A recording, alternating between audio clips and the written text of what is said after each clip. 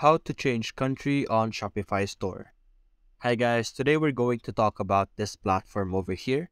And the first thing we're going to do is we're going to click on settings on the bottom left. And then this will redirect us to this page over here. Now what we're going to do is we're going to click on store details. And then we're going to find the billing information over here. Now what we're going to do is we're going to click on edit and as you scroll down we can see that we are now able to change our country or region to any other country that we want.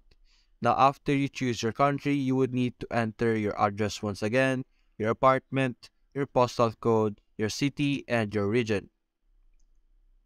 Your store currency would also change, the same with your time zone and unit of measurement to accommodate the settings set for the specific country that you're going to change your country into. And that's it guys, that's how you can change your country in Shopify. Hope you enjoyed the video, thanks for watching.